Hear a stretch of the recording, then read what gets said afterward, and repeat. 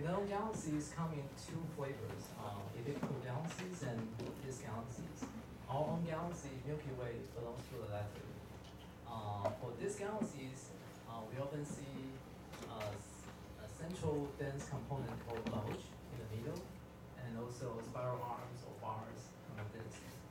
But after decades of study, we are still unsure, uh, even today, whether there is a bulge in the middle of our own galaxy. So today we are very happy to have a world expert on the Milky Way structure to review this subject or related subject. Um, Professor Mao Shude uh, from Tsinghua University and National Astronomical Observatory of China got his PhD from Princeton University in 1992. And then after postdoc positions at Harvard CFA and uh, Max Planck Institute for Astrophysics in Germany, uh, he moved to University of Manchester as a faculty in 2000. Uh, after uh, 2000, since 2010, he has moved back to Beijing uh, to help development of astronomy in China. Uh, Professor Mao is an expert on gravitational lensing, especially microlensing phenomenon, dynamical, dynamical modeling of galaxies, as well as um, ray so today he will tell us uh, recent progresses on the photometric and dynamical modeling of Milky Way bar. Let's welcome him. Thank you very much, uh, for, uh, for the introduction. So, uh, this is on. Okay, so uh, today I want to talk to you about uh, some of the work we have been doing uh, for the last few years on uh, photometric and dynamic modeling of the Milky Way. Um, my collaborators are listed here, um, some from uh, some from Shanghai. So, um, as you know, cosmology in astrophysics is uh, very interesting to many people. Uh, we want to probe very distant universe with increasing large telescopes. But in fact, our mother galaxy, Milky Way, is also extremely interesting. And as you will see, some of the parameters for the Milky Way are actually much worse known than the fundamental parameters uh, uh, in the universe. So, because the audience uh, we have today, I want to give you a, a general introduction of the uh, observed properties of our galaxies, and then specialize uh, to the case of the Milky Way, and then spend uh, most of my time discussing uh, photometric and dynamic models uh, of the Milky Way bar, and finish with a brief summary and uh, future outlook. So, uh, as Yenting uh, mentioned, when you look at galaxies in the universe, they can normally divide into two broad types. You have elliptic galaxies and then spiral galaxies. And spiral galaxies uh, are divided into uh, two subtypes, so-called ordinary spirals and bar spirals. Yeah, the name ordinary means uh, these may be more common than bar spirals, but in fact, uh, recent observation indicate, in particular infrared uh, observation indicate, bar spiral galaxies are actually more common. Two-thirds of spiral galaxies may be bar. So as you will see later in my talk, the Milky Way hosts uh, a bar.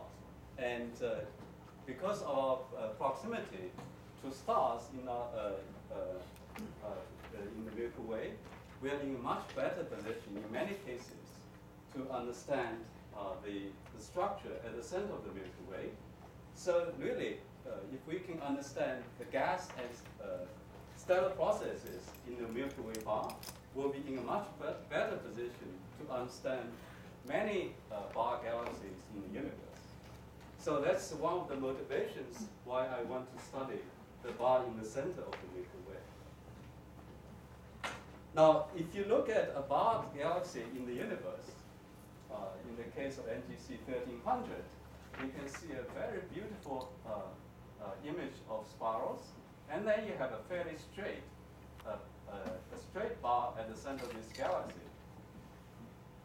Now, uh, we know that uh, uh, this bar is straight, and in some galaxies, if you have different angular speeds at different positions of the bar, then one part will rotate faster than the other part. So eventually the bar will uh, not be a straight bar anymore. The fact that most bars we see in the universe are straight means, in fact, uh, the central bar structure uh, rotates with a rigid uh, angular pattern speed. So different parts rotate with the same, same angular uh, uh, velocity. So this, uh, this is why no winding up of the straight bar is observed. Now, if you look more closely at this image, you see that there are two very prominent dust lanes, and you see a lot of bright young bluish stars, but you don't see much uh, uh, star formation uh, at the center of these bar structures. Now, these bright bluish stars are often related to star formation in these star galaxies.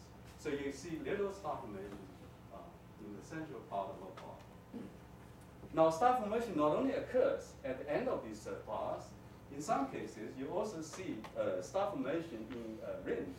And this shows one beautiful example. So you have a central bar, and then you have a ring of star formation. Now, this ring turns out to be quite uh, large, and the diameter of this ring is of the order of 27,000 uh, light years. The, uh, these rings are actually very common in bar galaxies. Now, in some cases, you not only see a very uh, large uh, ring uh, in the outer part of galaxies, and in some cases, you also see a nuclear uh, uh, rings of star formation. So for this galaxy NGC 4314 observed by Hubble, you can see the central region magnified into this uh, picture, and at the center, you see lots of dark regions, and these are caused by dust extinction, and then you see these beautiful uh, spots of star formation. So this is called nuclear ring of star formation, and the radius here is uh, much smaller, about 1,000 light years. So in fact, 10 smaller than the out rings I mentioned for the previous galaxy. Now, these rings can actually, the inner rings or nuclear rings and outer rings can um, occur at the same time in some galaxies. So these rings are often thought to be uh, related to resonances in these bar galaxies. So uh, bars are also very important for driving star formation uh, in spiral galaxies. And that's why one of the important reasons why we want to study uh, bar galaxies in the universe. Now, when you look at galaxies uh, uh, at face on, it's very easy to, fairly easy to identify straight bars in these structures. Now, if you look at galaxies edge on, this becomes much more difficult. Uh, it becomes much more difficult to identify the central bar structure. Now, if you look, this galaxy has uh, a, a, dark uh, band of uh, dust extinction, and then you have a central uh, uh, bulge region, which appears to be somewhat boxy, like a box. So if you look at the kinematic stars in these regions, they often appear to be quite complex. Now, they can also appear as uh, peanut-shaped galaxies. If you look at this uh, uh, spiral galaxy, you have, uh, in fact, this galaxy is uh, located in a group of five galaxies, and three of these are shown here. Now, if you plot the iso, the contours of surface brightness of this galaxy, you find that the contours appear like this, and this resembles a peanut in our daily life. So this is called peanut-shaped spiral galaxies. And these are thought to be uh, uh, spirals built edge-on. So this picture also calls into the question whether uh, this sort of bar structure is caused by, by tidal interactions with these nearby uh, galaxies. So, or they can be driven by uh, internal dynamical processes within these uh, spiral galaxies. And it turns out the answer is most likely uh, these are these bar galaxies formed by internal processes. And the reason is that uh, you can count the number of excess pairs around bar galaxies compared to uh, the number of pairs in uh, non-bar galaxies. It turns out you don't see much difference. So it must mean that pairs, whether they're present or not, are not very important for driving, for, for forming bars in spiral galaxies. So internal, circular, slow uh, evolution uh, dynamic processes are likely to be the reason why we see so many uh, bar galaxies in the universe. Now, uh, for the uh, for the last few years, at least in the Milky Way, people have been uh, very interested or rediscovered the so-called X-shaped structure. Now, this shows one image for spiral galaxy NGC 4710. And if you stare at this image long enough, you see an X-shaped structure here. So um, I just uh, use a cross to guide your eyes. You can clearly see after I show you some hints that this shows an X-shaped structure. Now this is uh, actually not uh, so rare in the universe. If you look at this uh, galaxy, our old friend here again, you clearly see an X-shaped structure. So how do these things form? What are the dynamical uh, orbits associated with these uh, peculiar structures? Uh, so these are the sort of questions we want to understand uh, in the case of the Milky Way. So these are also thought to be uh, related to uh, resonant orbits in bar galaxies, and I will show you one example later on. Now, so let me just briefly summarize what we know, or what are relevant for uh, discussions later on uh, for bar galaxies. So bar galaxies are very common. Two-thirds of spirals are bar, and they often sh show straight bars, so it means uh, they are rotating with the same angular velocity in terms of rotation. And you have dust lanes, so these are associated with gas streaming motions, as you will see later on. And you often see rings of star formation in these bar galaxies, showing that the bars are really important in driving uh, the very important star formation activities in galaxies. Now it's more important to, uh, more difficult to identify edge-on bars, but in terms of shape, they often appear as boxy, peanut-shaped, or you have uh, peculiar X-shaped structures in these galaxies.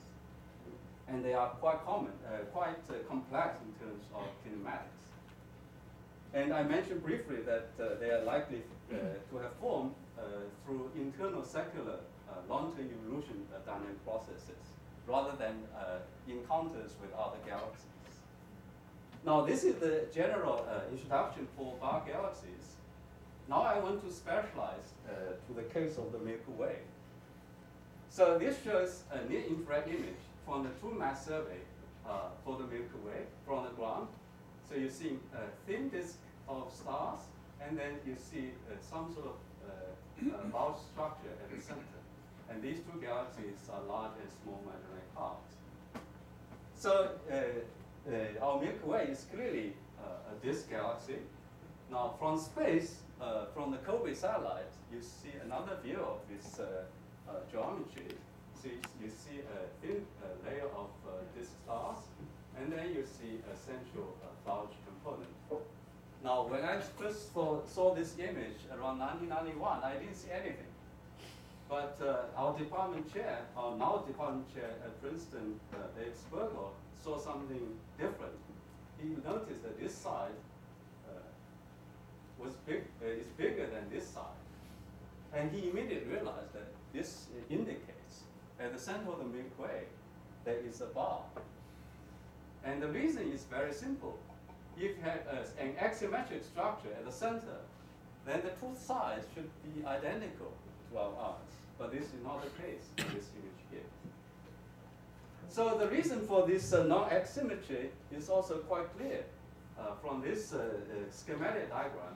If we can view the uh, Milky Way from the top, you have a top-down view of the galaxy, then you can see that the Milky Way from gas and other observations, the galaxy has beautiful spiral arms with uh, star formation regions, and then at the center you have a straight bar.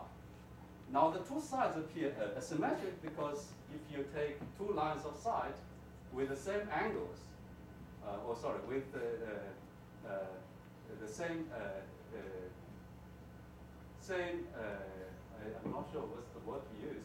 Um, in any case, these, this bar because this side is closer to us, uh, the same physical length will appear larger on this side than this uh, uh, side which is further away.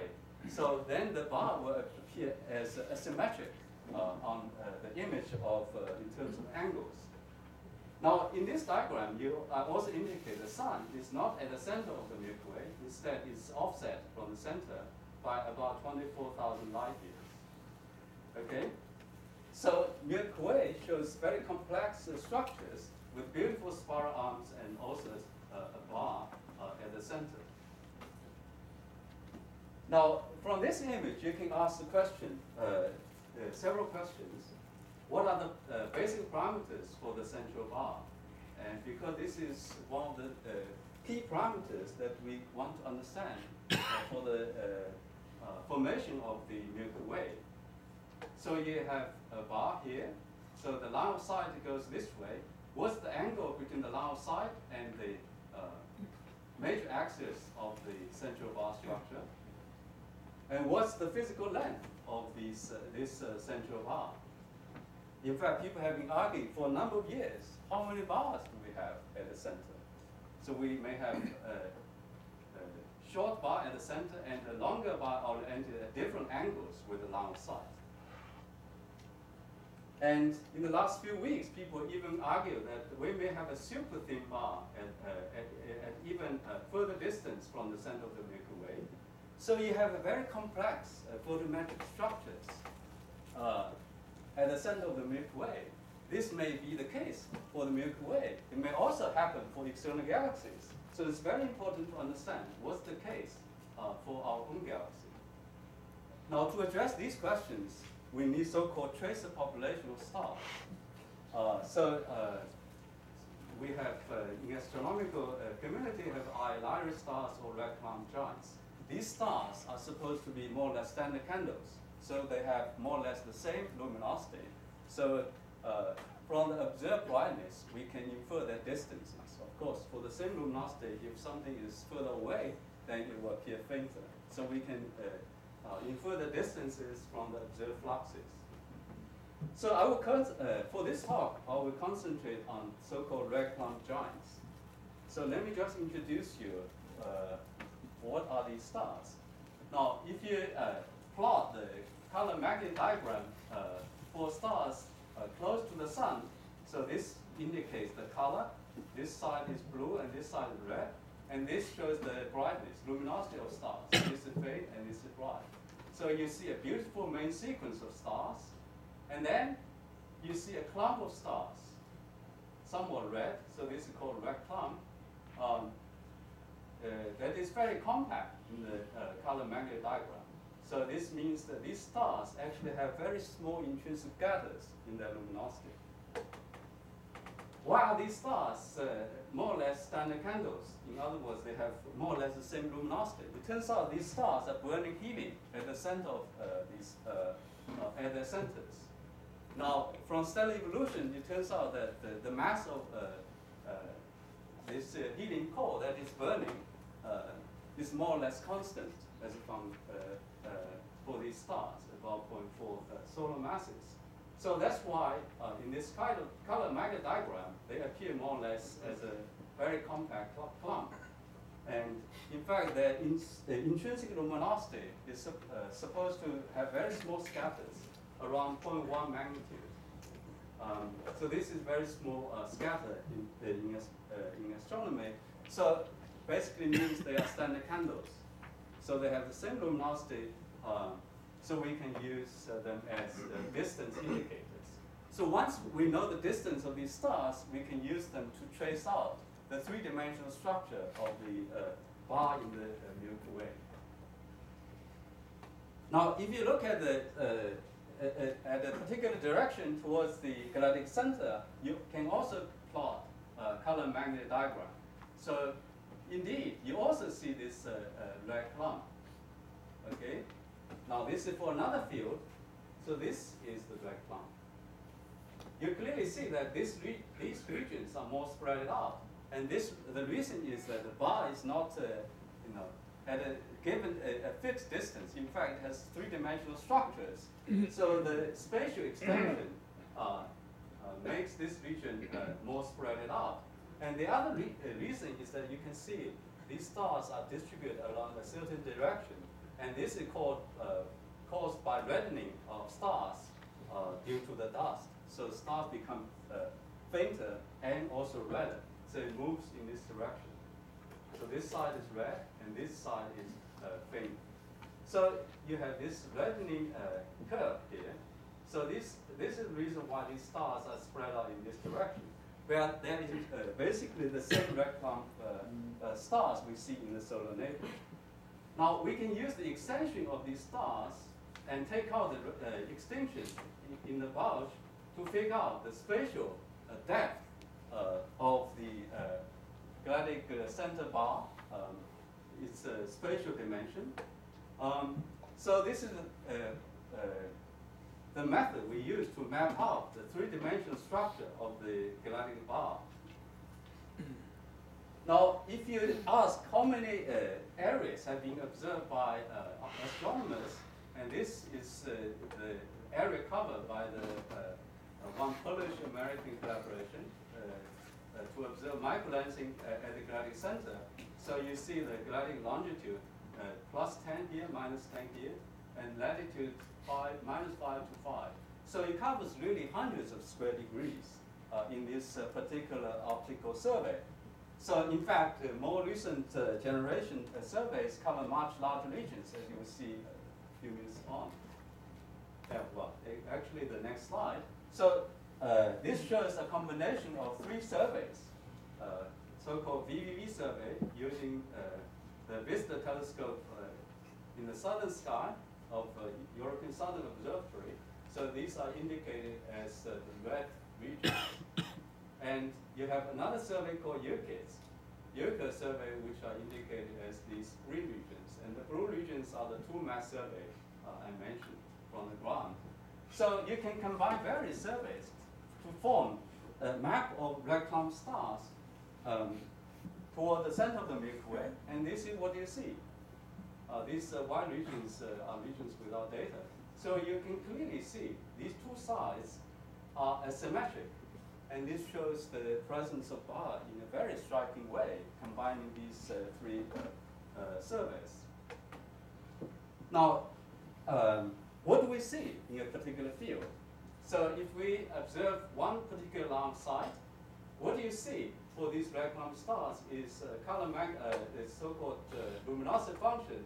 Basically, in each direction, you observe the uh, number counts of stars as, as a function of their luminosity or magnitude. So this shows uh, uh, the color magnet diagram, the number constant function of the luminosity for 34 fields.